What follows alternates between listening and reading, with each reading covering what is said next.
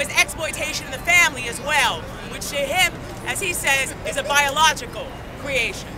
Other other points. Yeah, I just want to know uh, in modern America, what would it look like if we, uh, the people, took over the modes of production?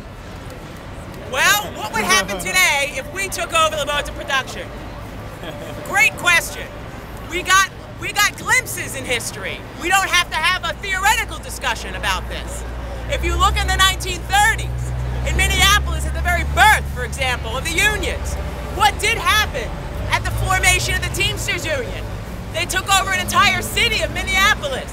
And as we understand it, it's not just about shutting down production. In some ways, that's the not so easy part, but comparatively speaking, that's the easy part. They then began to do in grander form what is beginning to happen in this park.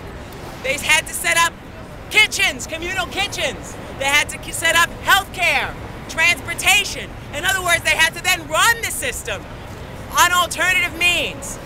Through what? How did they do this? They had no government that they would adhere to. They formed workers' councils and they had direct democracy, something else that socialists champion and argue for. And in fact, if you looked last week at where the workers at the port of Oakland, in cahoots with the people of Woo. Oakland, California, yeah. shut down the fifth largest port in this country, Woo. we get a whiff. We get a whiff of what it looks like when the people who produce the wealth and transport the wealth start to take control of that wealth. Other right. points and questions, and people could also talk to the brother's question about the family.